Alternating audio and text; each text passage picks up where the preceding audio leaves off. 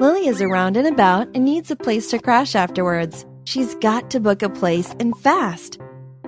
She opened her computer, booked, and paid a hostel online. Mission accomplished.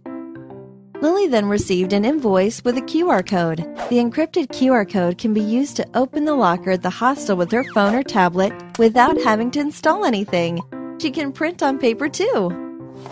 Lily can get her keys from the locker and use it to safekeep her valuables. Super convenient. It can even accept payments. Go to quiaccess.io to learn more.